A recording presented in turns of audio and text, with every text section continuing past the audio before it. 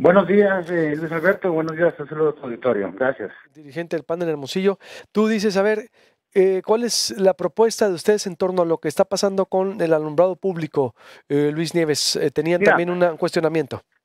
Mira, básicamente no, no es una propuesta en concreto, lo que yo les, eh, en nuestra postura más bien es, eh, es pedirle al ayuntamiento y pedirle a la empresa concesionada a que no pongan en riesgo eh, eh, al ciudadano. Es lo que le pedimos. Nosotros estamos solicitando que arreglen eh, este problema que, que, existe, ¿no? Con el tema de la concesión, de los pagos.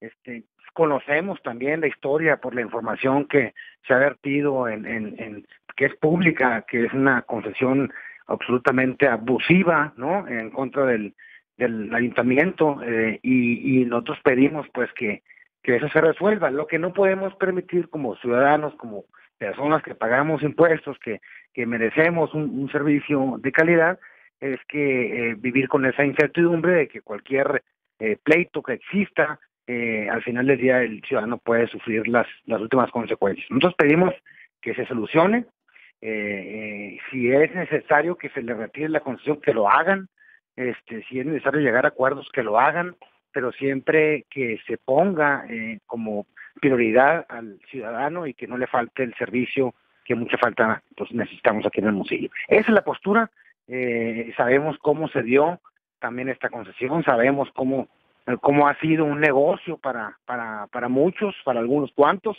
y nosotros queremos solamente es que, que haya claridad y que haya resultados nada más, independientemente de quién esté gobernando. Y por supuesto, si se puede arreglar en esta administración, que se haga para que no se siga heredando un problema que de inicio inició viciado.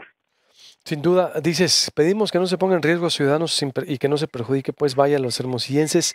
Eh, ¿Cuál sería la salida? La alcaldesa, no sé si escuchaste, pero ya pues, eh, quiere cancelarlo, digo, quiere bajar el costo porque eh, veo como una especie de epidemia nacional, ¿no? De muchos municipios les dio por andar concesionando servicios. Lo hizo Cajeme también con la cobranza hace poco. Digo, no nomás es probativo de un, de un municipio, hay que decirlo. Lo está haciendo Cajeme y está siendo severamente cuestionado por cobranza del agua de Hermosillo. ¿Qué tiene que andar una empresa de Monterrey cobrando, por ejemplo, el agua en Cajeme?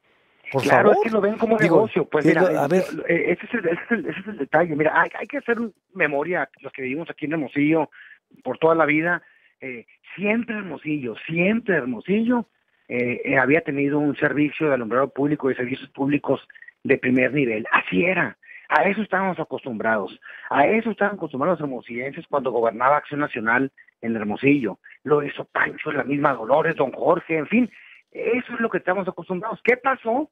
Pues se dejó caer el servicio, se fue, se fue dejando caer el servicio, la calidad del servicio, y obligaron a forzar esta concesión extrañísima, eh, viéndolo como un negocio. Inclusive, hace antes de conocer tu llamada, este, vi un- una carta, inclusive del exalcalde, donde se comprometía que solamente con el impuesto de, Del DAP. DAP se iba a cubrir esta concesión. Y no es así. Entonces, eh, eso es lo que pedimos, a ver qué. Sabemos que hay un litigio, sabemos que hay un problema, nomás pedimos, le pedimos y le exigimos tanto a la autoridad municipal como a la empresa que está mal prestando el servicio, que no pongan en al ciudadano en el riesgo de que nos quedemos sin alumbrado público. Es lo único que pedimos, porque nosotros estamos pagando el, el, el, impuesto eh, al, por alumbrado público. Eso es lo que pedimos. Es la postura clara del PAN.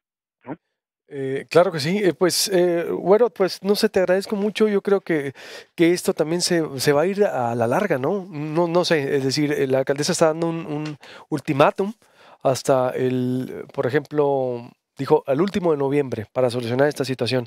Si no, eh, se va a cancelar en el, en el, en el cabildo. ¿Crees tú que el cabildo lo debiera cancelar o esperamos la respuesta de la empresa?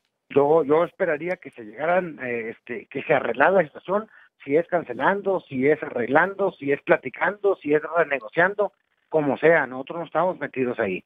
Pero si en dado caso eh, hay que cancelar, yo creo que eh, nuestra regidora tendría que votar a favor de esa modalidad, porque el ciudadano no puede estar en riesgo. Y ojalá y se haga pronto, y ojalá no se siga heredando esto a siguientes administraciones, como también escuché por ahí, y ojalá que, que esto se solucione pronto y por supuesto que no se esté jugando con eh, el sentir del ciudadano.